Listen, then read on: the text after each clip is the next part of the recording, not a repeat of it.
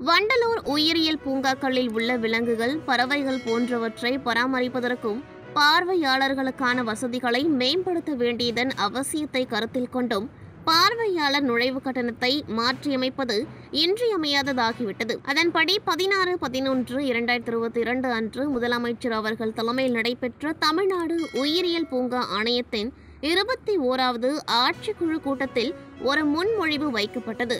நான்கு உயிரியல் பூங்காக்களின் நுழைவு கட்டணத்தை திருத்தியமைப்பதற்கான முன்மொழிவுக்கு ஆணையம் ஒப்புதல் அளித்துள்ளது.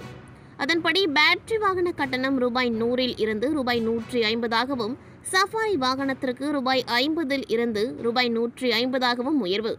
வீடியோ ஒளிப்பதிவிற்கான கட்டணம் ரூபாய் ஐநூறில் இருந்து ரூபாய் எழுநூற்றி ஐம்பதாக உயர்த்தப்பட்டுள்ளதாக வனத்துறை அறிவிப்பு. மாற்றுத்திறனாளிகள் ஐந்து வயதுக்குட்பட்டோருக்கு இலவச நுழைவு கட்டணம் தொடர்வதாகவும் இருசக்கர வாகனங்கள் மூன்று சக்கர வாகனங்கள் நான்கு சக்கர வாகனங்கள் வேன் டெம்போ பயணிகள் மினி பேருந்து மற்றும் பேருந்துகளுக்கான நிறுத்த கட்டணம் மணிக்கணக்கில் இருந்து நாள் கணக்கில் நிர்ணயிக்கப்பட்டுள்ளது என தெரிவிக்கப்பட்டுள்ளது.